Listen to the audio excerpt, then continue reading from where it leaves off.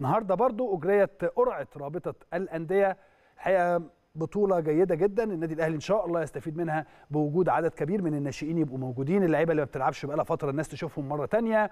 واللي عايز يطلع إعارة يطلع من خلال المباريات. اللي عايز يكمل في النادي يكمل من خلال المباريات. ده اللي هنشوفه إن شاء الله. القرعة النهاردة اتقسمت إلى ثلاث مجموعات. الحقيقة أسفرت القرعة عن وضع الأهلي على رأس المجموعة الثانية والتي تضم نادي سموحة والبنك الأهلي والمقاولون العرب والإسماعيلي والجونة. جاءت مباريات النادي الأهلي في البطولة كالتالي الجولة الأولى. الأهلي في الجونة يوم الخميس 13 يناير الساعة 2:30 الجولة الثانية الإسماعيلي والأهلي يوم الاثنين 17 يناير الساعة 2:30 الجولة الثالثة الأهلي والمقاولين العرب يوم الجمعة 21 يناير الساعة 5 مساء.